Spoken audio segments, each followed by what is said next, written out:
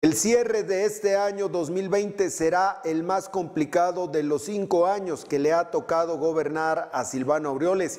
Así lo dijo el gobernador que además detalla cuáles son los rubros a los que se le dará prioridad con lo magro del presupuesto, pero habrá dificultades para esta última etapa, este último tramo del 2020 en Michoacán.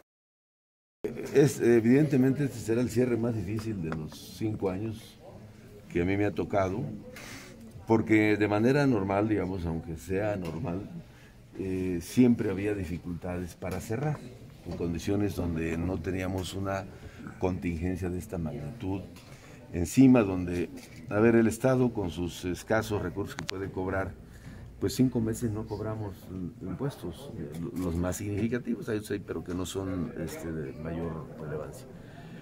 Entonces eso nos deja en una condición bastante eh, delicada. Luego el, tema de, pero, pero aún estamos cuidando, no vaya la redundancia, no dejar de lado los temas centrales. Y hay tres temas, digamos, centrales en la emergencia. Salud, eh, educación y seguridad pública. Necesitamos, sobre todo en el tema de cumplir con compromisos eh, magisteriales, 2.470 millones, 2.500 millones, que es, digamos, la parte más álgida, porque son eh, pagos personales, salarios, pues, y eso. Pero estamos trabajando para hacerle frente bajo esta lógica de tres prioridades, educación, salud y seguridad pública.